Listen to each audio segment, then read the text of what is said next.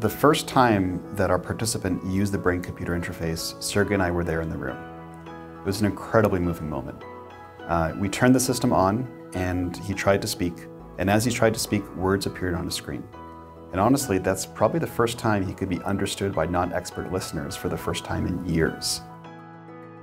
Losing the ability to speak is devastating. The number one need for people living with paralysis is communication, but the existing technologies are often inadequate.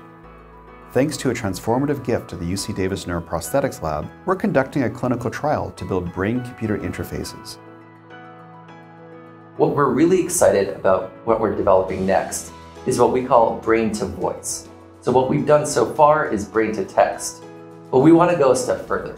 We want someone to try to speak and their voice, with all of its inflection and tone and the richness of human expression, actually comes out of the computer instantaneously as they try to speak. I'd like to get to a point where I can meet a patient living with a stroke or a brainstem injury or ALS and to say, you know, I'm really sorry this has happened to you, Miss Smith, but your brain-computer interface surgery is scheduled for next week. We'll get you communicating without a problem.